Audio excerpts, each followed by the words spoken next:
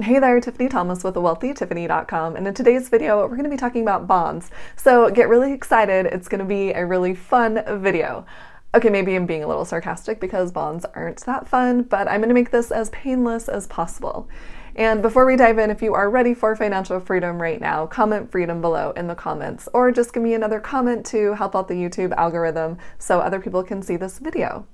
All right, let's dive in and talk about bonds. Um, I know I've talked a lot about stocks, but I had a request to talk about bonds.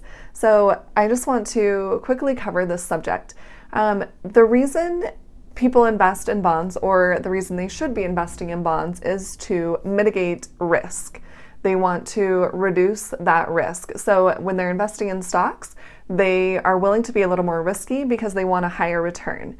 And when people are investing in bonds, it's going to be a lower return, but usually a lower risk. And there's a few things I want you to keep in mind. The first one is when you're investing in bonds, because you are trying to mitigate that risk, you want to invest in bonds that are going to be the least risky. You don't want to have risky bonds because you have stocks, which are the risk side of your investment, the risk side of your portfolio or asset allocation, if you will. Uh, so you're investing in stocks to get a higher return with more risk, investing in bonds to reduce that risk and have a lower return. So, the way I like to look at bonds is if you are trying to reduce the risk, um, I like to personally go with a bond fund. And all that means is that it's a fund that has a ton of bonds inside of it. So, a bond, um, in essence, is kind of an IOU note. You are um, giving your money to a government or a corporation, and they are saying, okay, we're going to pay you back that amount plus interest on top of that. Um, but not all bonds get fulfilled, some of them default. So you want to keep that in mind. It's not 100% risk free investment, although less risky than stocks. Um, there's still some risk associated with bonds. When you are looking to decide which type of bonds or bond funds to invest in, there are different qualities of bonds, um, different grades. So there are A grade bonds and B grade and C grade. A being the highest, and it goes um, usually with triple A being the very highest, and then it goes to double A, then single A, and then switches over to B, and some of them even have AAB or ABB. Um, but you want to stick with the higher quality. So you really don't want to be in the C quality bonds, the C grade, because those are going to be more risky and we're trying to mitigate our risk. We're trying to reduce that risk. So I would say look at those higher quality, higher grade bonds or bond funds and invest in those. And the reason that I like going with a bond fund is because when going with a bond fund, you have all of those different bonds inside of there, and they have different maturity dates. When you're investing in a bond, you select a certain time period to invest your money and then you are receiving um, that interest back on your money and all of your money back. Um, but when you when the interest rates um, go up or down over time, if you are invested in a bond fund, so a whole bunch of different bonds instead of a single bond, um, you're going to kind of even out that interest rate. Um, because if you're stuck in one bond, you're stuck at that interest rate for the whole length, the whole time frame of that bond. And when you have a bond fund, there's going to be different maturity dates. Um, so it kind of, you know, they can start out having maybe like a 2% interest on those bonds. But when those maturity dates hit, they need to replace those bonds with new bonds, which, if the interest rate has gone up, then it could be a 3% or 4% or 5%, whatever. Um, I'm just throwing out different numbers. It just varies over time. On average, good quality bonds have returned anywhere from 2% to 4%. And the riskier the bond, usually the higher return will be. But that's not what we're looking for. We're looking for the least risk possible with our bonds. So our return is going to be lower. Um, but they start to replace that with new bonds inside of your bond fund with better interest rates. Uh, so you are, you know, increasing the money that you could be earning. And of course, yes, it can go the flip side of that. They could drop in time, but then you would have those original bonds in there that have matured. So you've made money on those in the beginning with a higher interest rate. Um, so that's just one of the reasons I like to invest in a bond fund because, um, you know, interest rates fluctuate over time. And you can kind of just stick with a bond fund and not really worry about that because of the all of the different maturity dates that are going to be inside of that bond fund. And when you're looking for a bond fund, there's going to be an expense ratio associated with that. Um, so you can see when you're, you know, looking online at different funds to invest in, there's going to be a column that says expense ratio. You want to pay attention to that because you want to keep that expense ratio as low as possible because that's a fee you're going to be paying over time. Uh, so, for example, Vanguard has what's called the Vanguard Total Bond Market Fund, and this has a number of bonds inside of it. And this has, I don't know, I think it's over 8,000 bonds inside of it. So there's a ton of bonds inside of this.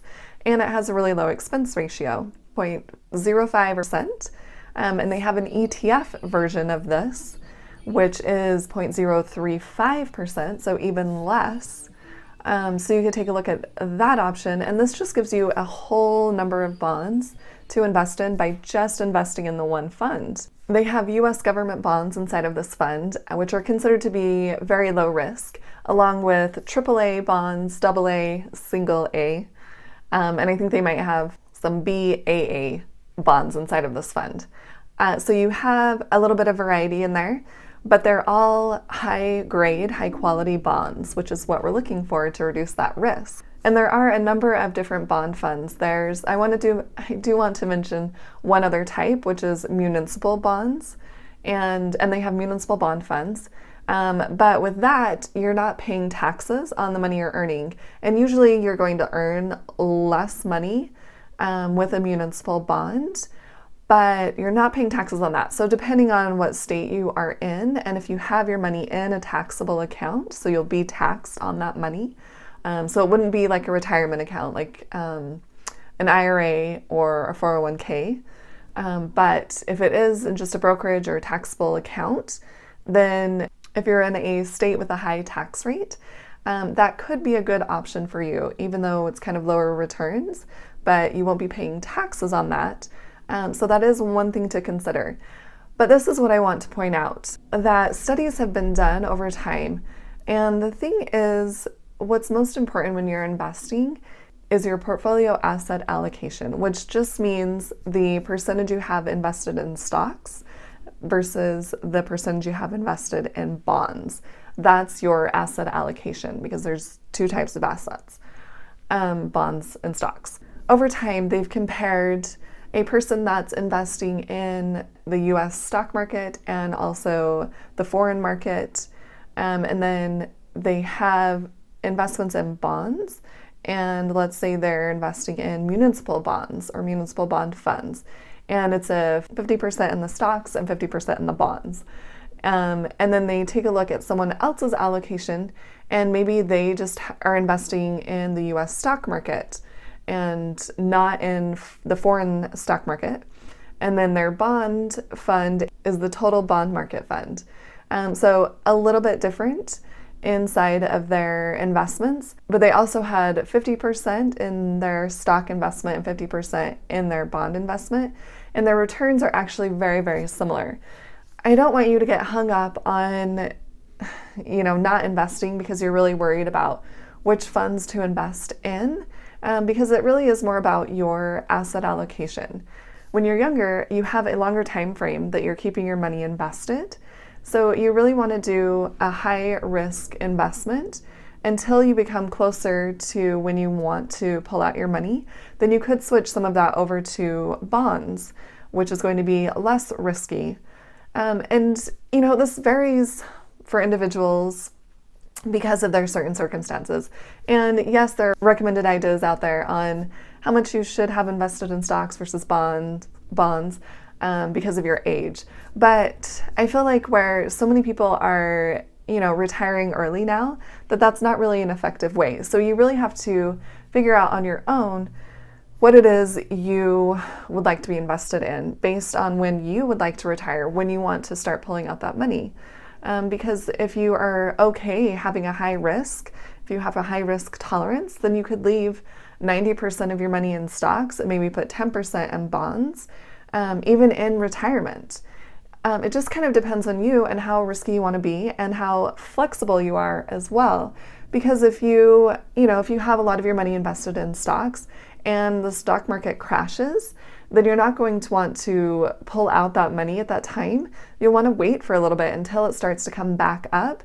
So if you're flexible and you think, you know what, I can just get a little high, a little side hustle for, you know, for this year, um, or find another way to create some extra income um, and be okay with that, or not take your really expensive vacation one year and take it, you know, in a couple years when the stock market market has gone back up. Um, if you're willing to be flexible, then you don't have to worry so much about having so much invested in bonds. You can still have that high risk and still be getting those really good returns and have a lower amount in bonds in a bond fund because you're willing to be flexible. Um, and you know yourself, if you are going to go crazy, if you have so much invested in stocks, if you have that 90% invested in stocks, that you're not going to be able to sleep at night and you're going to be so stressed and worried all the time, then don't do that. You know, start to put more toward bonds so that you feel comfortable so that you can sleep at night uh, because your health is really important. And if you do want to invest in single bonds, uh, make sure and look at that maturity date and the rate that you're going to be getting, that interest rate, they call it a coupon rate. Just as a side note, when you are investing in a bond fund, sometimes there are minimums, um, which could be a $3,000 minimum.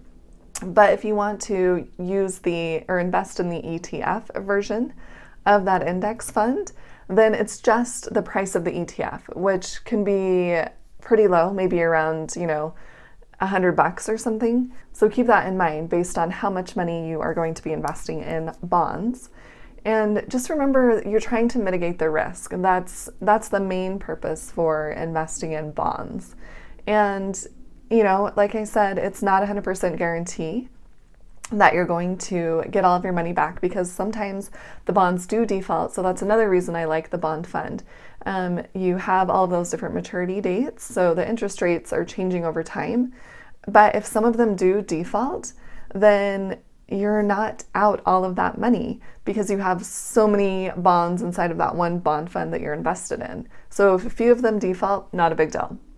But if you're only invested in one bond and that defaults, that's a big deal because you want to mitigate your risk. You don't want to lose all of your money or the majority of your money when especially when investing in bonds.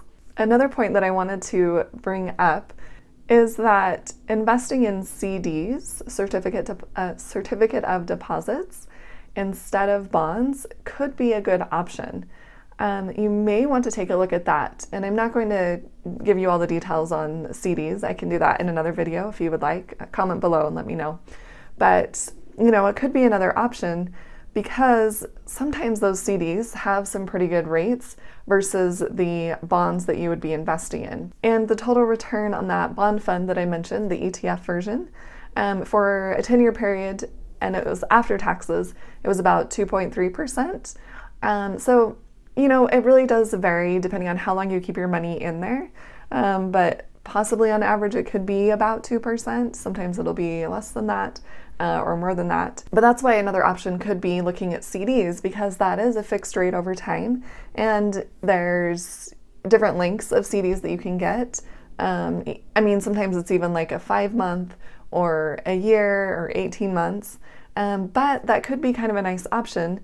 And that interest would be paid to you. It's usually monthly, and you can take that out if you would like, or you can just continue to reinvest it. But it would be at that fixed percent. Um, so you know, you can kind of think about that and decide maybe you do want to put some money in CDs instead of in bonds or a bond fund, uh, just depending on your preference. And if you want to kind of lock in that interest rate, um, instead of doing a single bond, which could default, um, you could do a CD, which you're insured, FDIC insured up to $250,000 with most places. You want to make sure, you know, whichever place you choose, that you are insured up to a certain amount and just to keep it safe because we're mitigating risk, right? We're not trying to do something risky here. Uh, that's for the stock investing, not the bond investing. Um, so hopefully this kind of helps you get an idea on if you want to be investing in bonds or when to invest in bonds or how much. So if you found this video helpful, please hit the like button and share it with someone else who would like to hear this information. And if you guys have other ideas about content you would like me to create for you, please put that in the comments below. And please hit the subscribe button to subscribe to my YouTube channel. That will really help me out and we can get this message out to more people. And you guys, just as a side note, uh, since Halloween time, I do have Halloween nails. I was a tiger for Halloween, so I have tiger nails. Um, all right, you guys, that's it for today. Hope you enjoyed the Bond video, and I will see you in the next video. Thanks.